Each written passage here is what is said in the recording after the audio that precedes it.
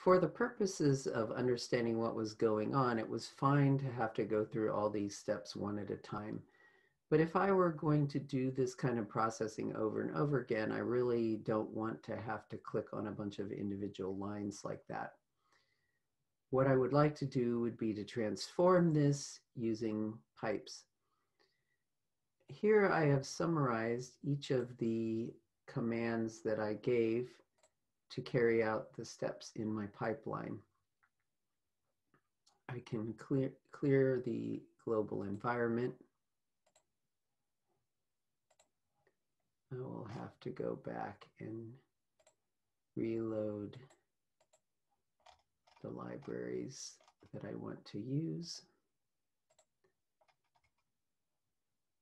If I highlight all of these lines at once and click run, it will run through them all one at a time. And here I can see my output tibble, which is great, just the way it was before. One of the problems though is that each time I went through one of the steps in my pipeline, I generated an intermediate data object. And so if you can see over here in my global environment that I've cluttered it up with a bunch of new tibbles that I've created. Each time I did one of the steps, I made a new tibble.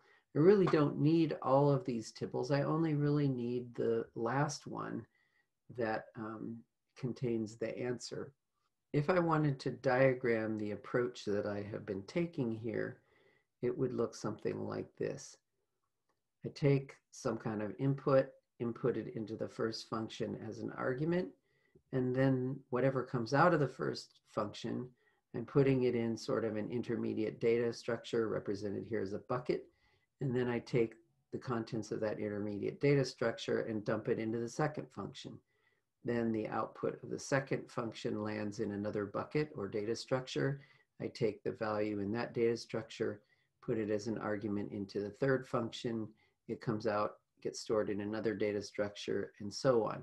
So I am basically using these temporary intermediate data structures as a place to hold the data between when it comes out of the first function and when it goes into the second one.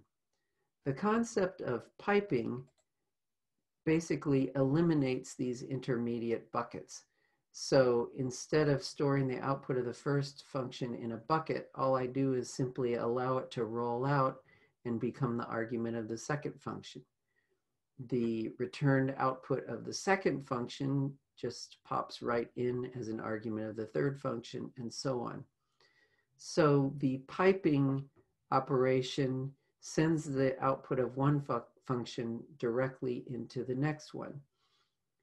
A major implication of this piping method is that we don't need to have any intermediate objects since the, since the output of one function is just going directly into the next one.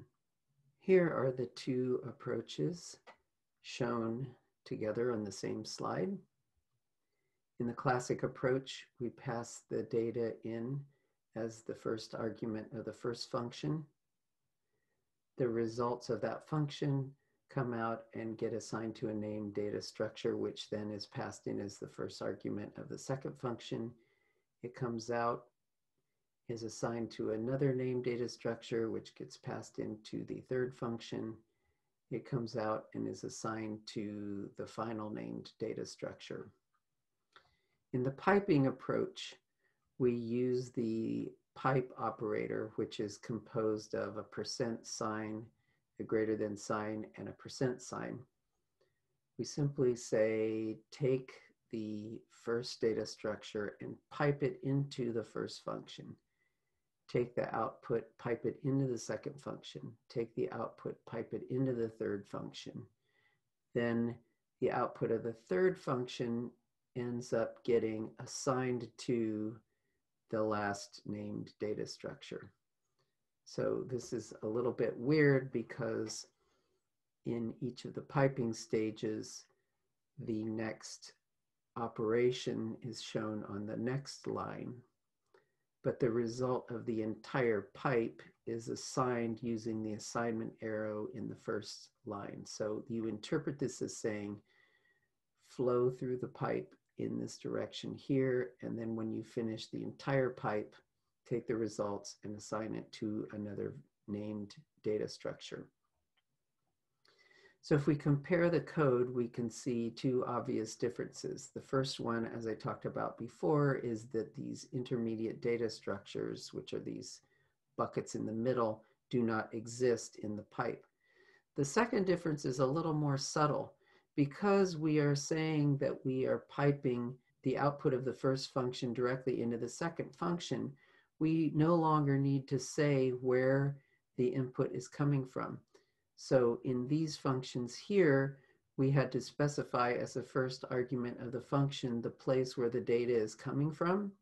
But when we do piping, we don't need to say where the data is coming from. The data is simply coming as the output of the previous function in the pipe. So when you use the pipe characters, you drop the first argument out of each of the subsequent functions because you don't need to specify where it's coming from. It's just simply coming from the previous part of the pipe.